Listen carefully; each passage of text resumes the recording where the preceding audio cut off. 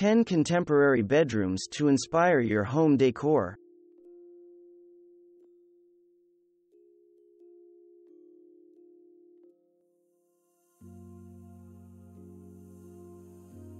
There's not a lot of furniture or knickknacks in this room, but there is certainly no lack of personality. This is how you make a contemporary bedroom special. Start with a simple platform bed and basic furniture, and then add POW. Contemporary is not synonymous with stark. As proof, take a look at the bedroom featured here.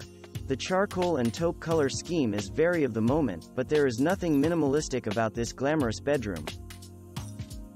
When your palette is limited to soft shades of grayish brown and white, your furniture has simple lines, and there isn't a lot of artwork or collectibles in the space, you need something else to give the room personality, texture.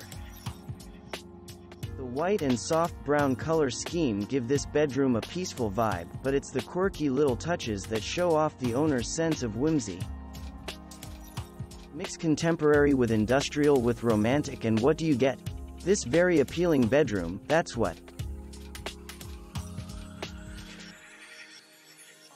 You might not be so lucky as to have a glorious view of the ocean outside your bedroom like the room featured here, but that doesn't mean you can't make use of its other decorating tricks.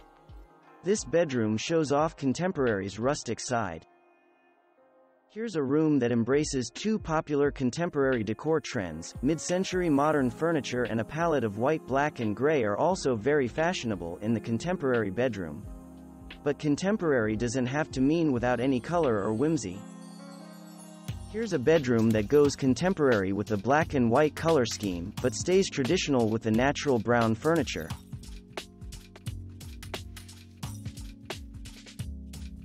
For most people, the bedroom is their retreat from the rigors of the day.